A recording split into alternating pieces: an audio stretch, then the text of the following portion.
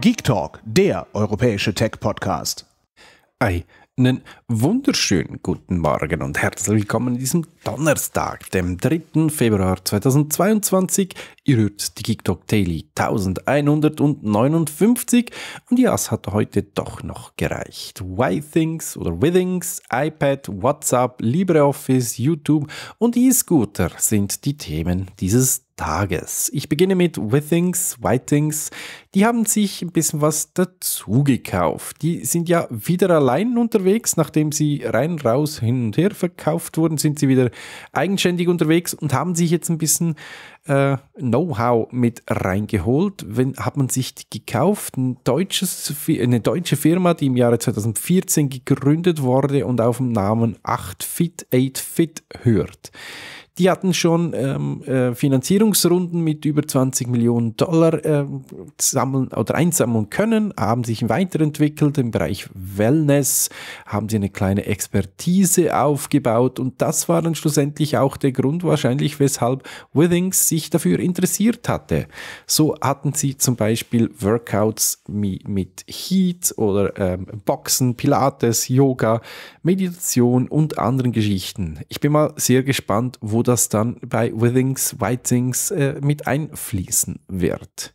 Es gibt wieder mal neue Zahlen vom Tablet-Markt und nachdem im letzten Jahr doch das eine oder andere Herstellerchen aus dem Android-Lager wieder mal ein bisschen Gas gegeben hat und ein bisschen was hervorgebracht hat, auch Google ganz dezent, wenn auch nur ein bisschen ein Update in die Richtung Tablet spendiert hat, also ein bisschen sich überlegt hat, dass ein Tablet auch mehr als nur ein aufgeblasenes, aber lassen wir das.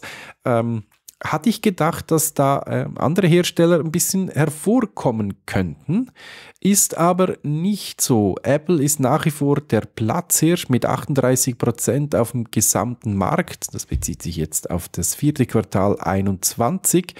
Ähm, Samsung ist dann gefolgt an zweiter Stelle mit 15,9, Lenovo mit 10% und dann geht es weiter mit Amazon, Huawei und Others. Andere machen dann 22,8% auf, aus und das sagt natürlich einiges aus, würde ich doch sagen, für den Tablet-Markt iPad oder das iPad oder die iPads können also nach wie vor ganz vorne mitschwimmen und ist, wie ich äh, immer wieder sage, auch mein Lieblingstablet, obwohl und da kommt nächstens ein Video dazu, Huawei ein cooles Feature hat bei ihren Tablets und dem ganzen Ökosystem, was sie so noch umgeben.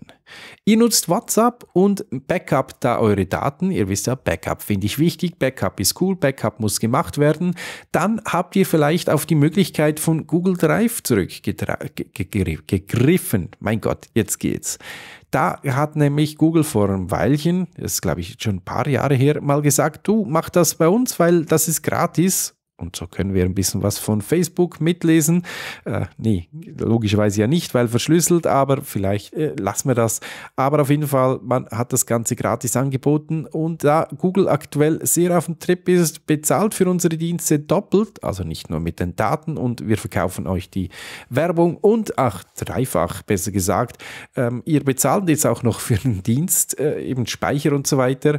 Nee, das gibt's nicht mehr. Wer das also getan hat, muss damit rechnen, dass er bei Google bald ein bisschen Geld reinwerfen muss, um Speicher zu haben, wenn das zu wenig ist, was es da kostenlos gibt und oder ihr in eurem Abo drin habt, oder ihr löst das Ganze anders. Weitere Neuigkeiten gibt es bei LibreOffice, der Office-Alternative aus dem Bereich Open Source und da gibt es eine Version 7.3. Was ist da drin? Vor allem viel Interpropil, Interpro, diese Zusammenarbeit mit Microsoft wurde verbessert. Ähm, ist schwierig, so früh am Morgen solche Wörter auszusprechen. Genau, ich probiere es jetzt auch nicht nochmals. Was ist mit drin? Äh, die einzelnen Dokumente lassen sich besser, einfacher öffnen von anderen Systemen, wie eben Microsoft-Dokumenten etc. Das sollte man sich installieren, wenn man damit arbeitet. Warum komme ich darauf? Meine Mädels arbeiten in der Schule damit und deshalb mussten wir die iPads und iPhones äh, updaten und somit hatten wir dann das, äh, habe ich das mitbekommen. Auch mitbekommen habe ich, dass der YouTube-Player ein paar Updates äh, hat, vor allem im Bereich des Vollbildmodus. Etwas, was ich schon länger habe, ist, dass plötzlich beim Vollbildmodus in der Seitenlage, also im Querformat, die Kommentare oder die ähm, Kapitelmarken rechts überlagern. Neu kommt auch eine neue Navigation mit dazu. Der Daumen zum Beispiel, der nach oben und der nach unten und die Möglichkeit, einen Kommentar zu hinterlassen, sind jetzt prominenter unten links und einfacher zu erreichen. Wer also mag, Poughkeepsie Network heißt der Account bei YouTube, darf da gerne mal reinschauen und beim einen oder anderen Video einen Daumen nach oben geben oder auch nach unten, je nach Gusto, logischerweise, und auch einen Kommentar hinterlassen. Ich würde mich dezent darüber freuen und im Kreis hüpfen und das Ganze aber nicht filmen und euch zur Verfügung stellen. Ihr könnt es euch einfach vorstellen. Ich werde auf jeden Fall im Kreis hüpfen. Und sonst nächstens in ihrer Instagram-Story. Nee, lassen wir das. E-Scooters, vor einem Jahr, Anfang 2021, äh, kamen die endlich auch nach Bern. Eine Schweizer Stadt, die Hauptstadt, um genau zu sein, für alle deutschen und österreichischen Zuhörer, die, äh, denen das nicht sagt.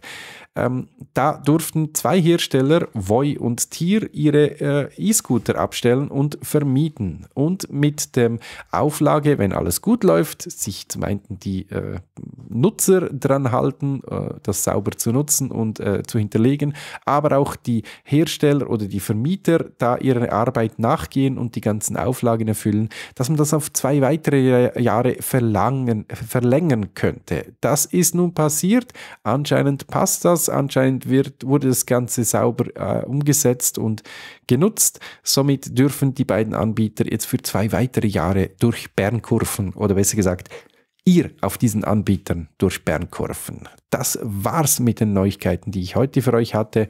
Ich hoffe, ihr habt ein bisschen was mitnehmen können. Wünsche euch noch einen schönen und erfolgreichen Tag und wir hören uns bald schon wieder in diesem Format und oder irgendwo sonst in diesem Internet da draußen. Bis bald, euer Poughkeepsie. Tschüss. Hört mehr Geek Talk.